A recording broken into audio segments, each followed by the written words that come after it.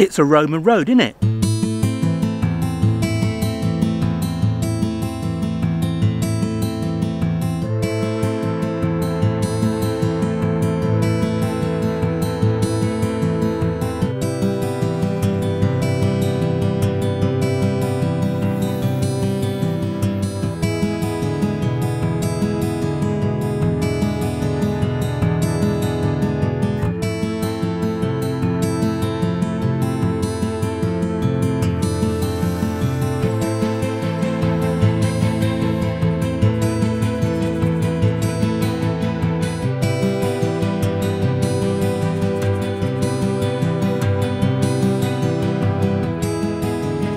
Hi everyone, welcome back to the channel.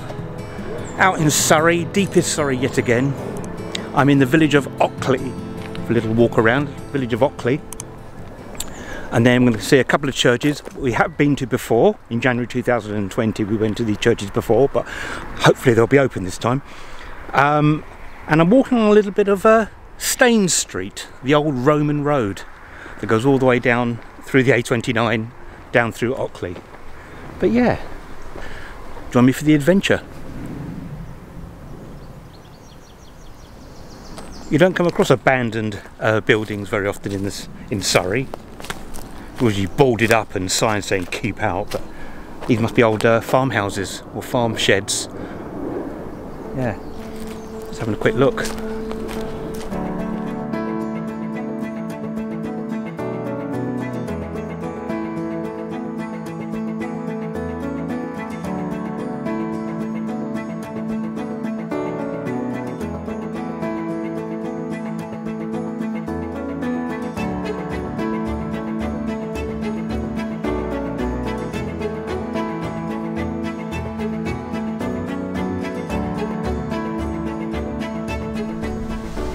Just coming back up to the Roman road, you must go through the Bucking Hill Farm and then carrying all the way down to near where I am actually, all the way from London.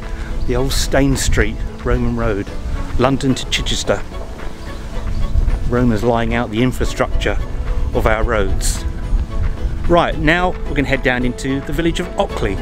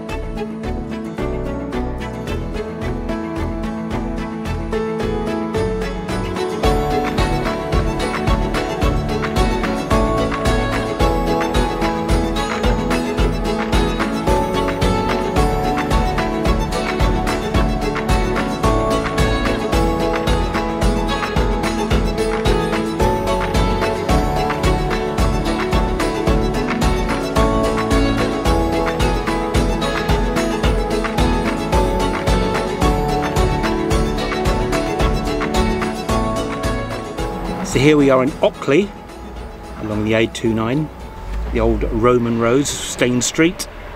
Driven through here many times, nice few pubs uh, along here, some great old houses. It's a real beautiful spot, but I've never actually stopped here.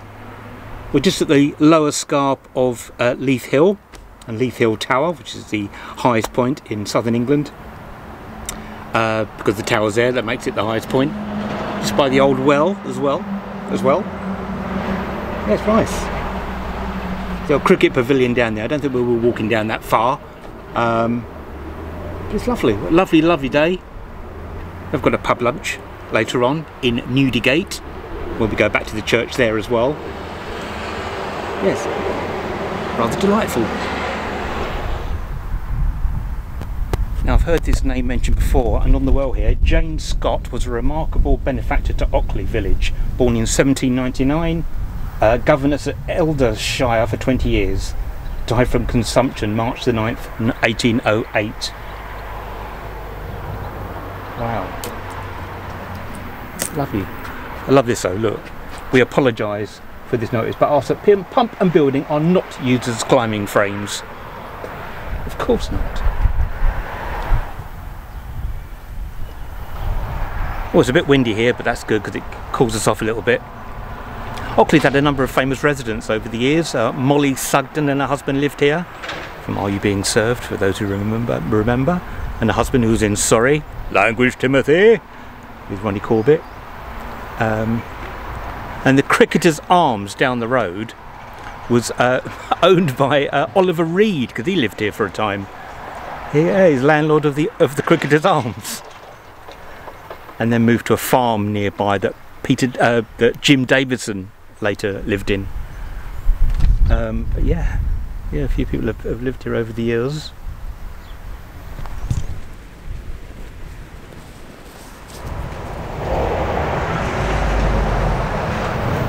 Another reason Ockley is quite well known from a historical point of view, it's one of the alleged sites of this great Anglo-Saxon battle between the West Saxons and the Danes. It's debatable where this battle was. It was first mentioned in the um, Anglo-Saxon Chronicles in 851 of this great battle where King Ethelwulf and his West Saxon army came west to beat, beat off the Danes. At, well, in the modern pronunciation from the old Anglo-Saxon is Oak Lee, Oak as in O-A-K and Lee L-E-A, Oakley. There's other places that also say that's where the battle was. There's a place in Basingstoke. There's a hill uh, near Merstham, which we've done many videos from, uh, on the North Downs Way. So no one knows for sure where it is. But during that battle, it's one of the, the final defeats of these of the Danes. They were utterly wiped out. There wasn't enough people left alive to bury their dead, so they say and it knocked back the invasion about 14 years. So yeah, it could have been here. No one knows for sure. It's pretty much impossible to find out, but it's, it's a fascinating tale. Fascinating tale. The bloodshed that must have gone on that day. Right. Yeah. The Battle of Ockley. So what we're going to do now, head over to St Margaret's Church we have been to before um, but hopefully it might be open. I know a little bit more about it this time, so let's go.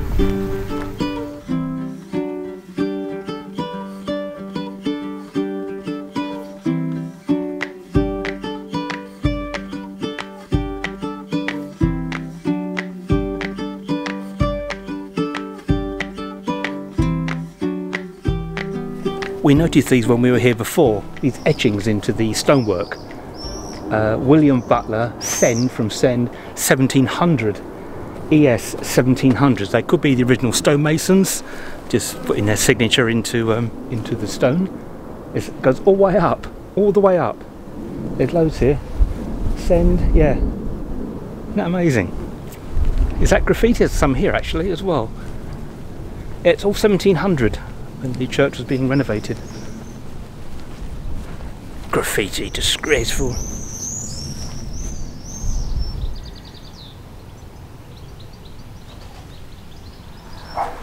The church was first mentioned in 1291, but most of it is 1300s, with obviously additions later on, especially 1700 with the graffiti.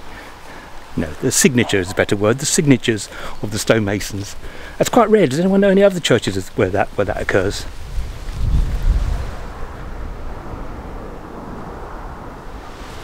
Yeah, I was right. The tower was rebuilt in the 1700s, and the bells here were forged at the famous Whitechapel Foundry. Now, this is quite interesting, especially from American viewers. I'm recording this on the 4th of July, Independence Day. Happy Independence Day, ex-colonists. No, hope you're having a great day. And the bell in this very church, in this very church, was the template for the Liberty Bell. Can you believe that? For the Liberty Bell. The template for that bell comes from this church here. The reason for that is in 1639, the Reverend Henry Whithill, I think it's called Whitehill or Whithill, um, took a bunch of Puritans across the Atlantic uh, to the New World. Obviously, took the ideas for the bells with him. So, yeah, one of your uh, original settlers comes from this very parish.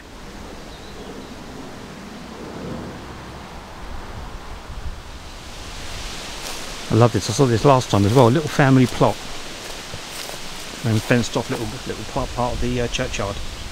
Lovely.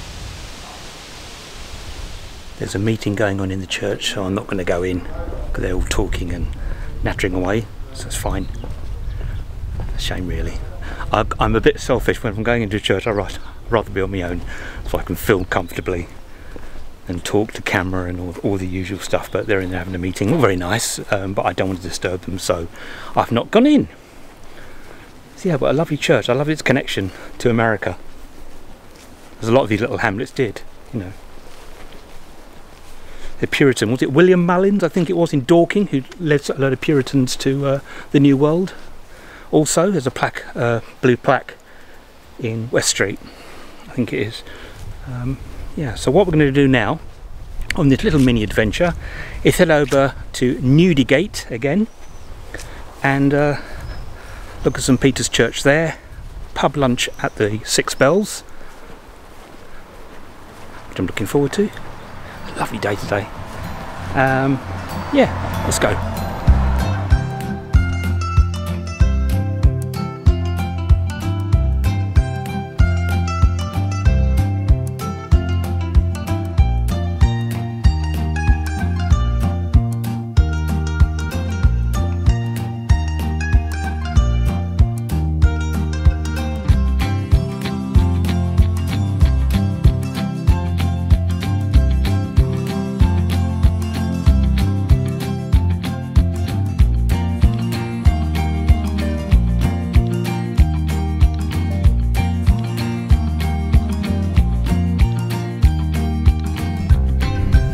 So welcome to Newdigate. This would have been a vast forest between the North and South Downs a few thousand years back. This lovely church is extraordinary. It's this wooden tower, one of the finest oak towers in the country.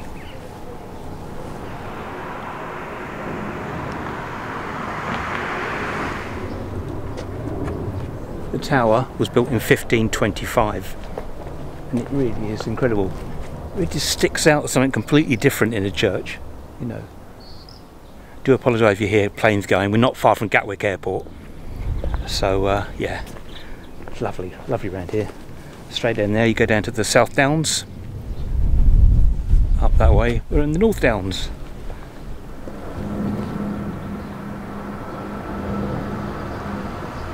Well, that's a 12th century church. There's lots of additions later on, like many of these churches are. I wonder if it's open, if you have a look.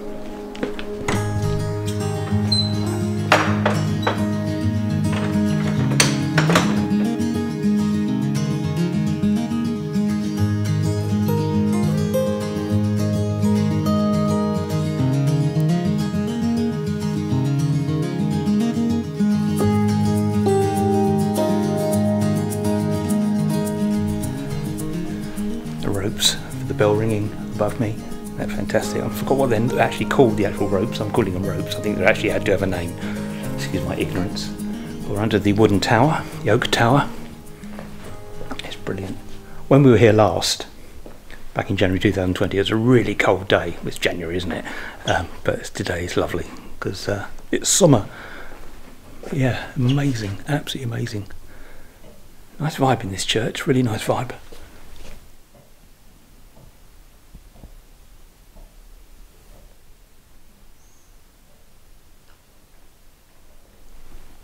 What's nice about this church is when you walk in, the lights automatically come on. So there must be a sensor somewhere, which is great. Because in some of the churches recently, as you may have seen, I'm struggling to find lights because I'm pathetic. I'm loving the uh, Weeping Angels.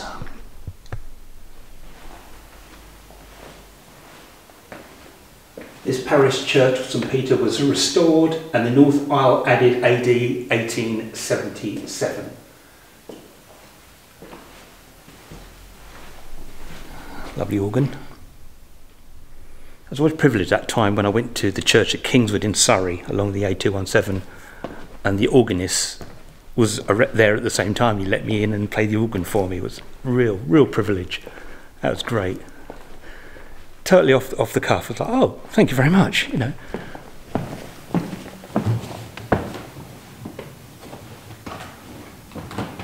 Ladies and gentlemen, please subscribe to my YouTube channel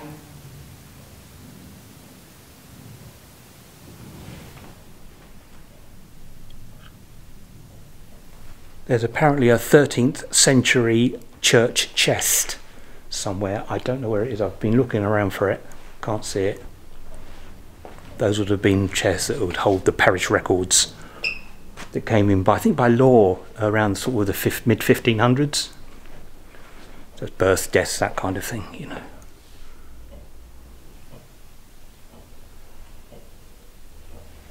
There are six bells here, hence the name of the pub, the Six Bells. Clues in the title. I wonder where that chest is. I would like to have seen that. 13th century. This lovely screen here. I think this is quite uh, not that long, uh, long ago. Very nice. Oh, said very nice. Drinking game, if you remember from the uh, previous video.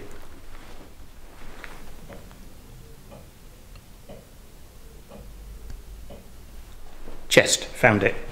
Here it is. 13th century chest. Amazing. 13th century.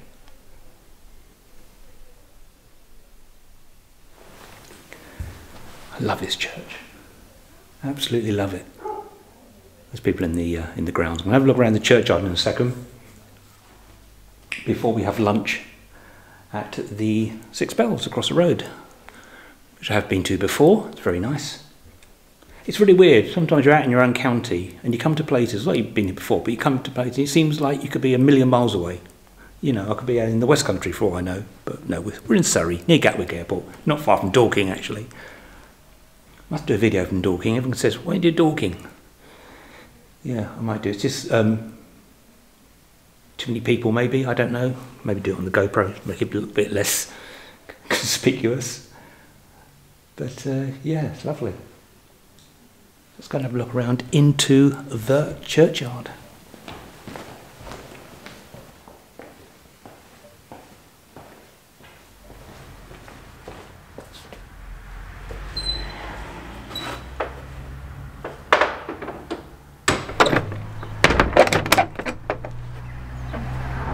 Yeah, I'm not going to leave without touching an old door. It's got to be done, it's part of a ritual. Touch the old door and say very nice for the drinking game.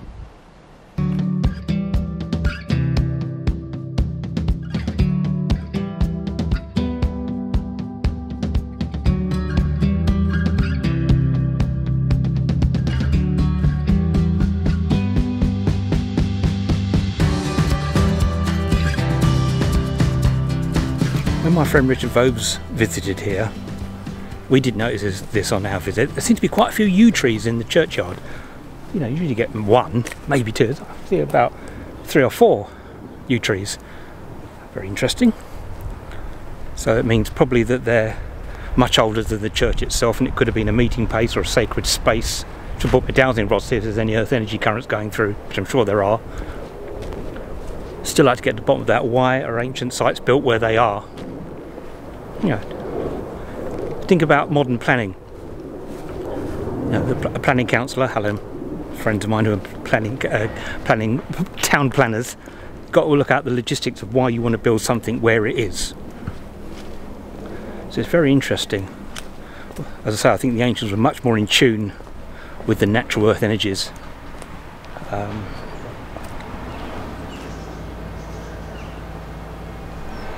oh, these are lovely. These are the compost enclosure where the more natural burials. Isn't that lovely? Really being one with nature, so to speak. That's really nice. So there you have it, Ockley and Newdigate. Just a little adventure. Nothing too grand. Seen some few historical sites. And we're now going to go over to the Six Bells pub for lunch It's the only time we eat early is we have a pub lunch. and uh, we'll see you inside.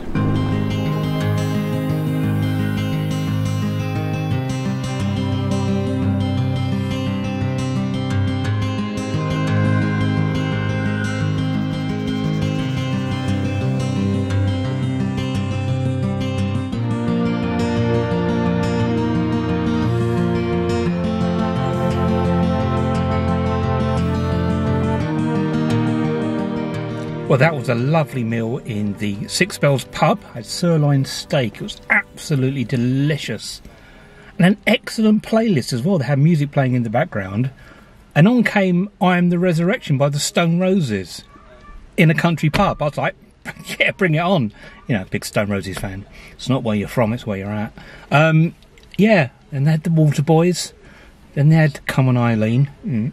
Um, it's really good. It's interesting with the Waterboys, um, um, The Whole of the Moon. The problem with that song now, every time I hear it, I just think of Graham Norton on the Father Ted episode. The whole of them. Do you remember that? It's just, I, it sort of ruined the song for me a little bit because that scene, just, Graham Norton just jumps out at me. Um, but anyway, that's it. Hope you've enjoyed the little video from Ockley and Newdigate. And uh, please do the old like, subscribe, all the normal stuff. I'm very much appreciated. And we'll see you next time. Take care.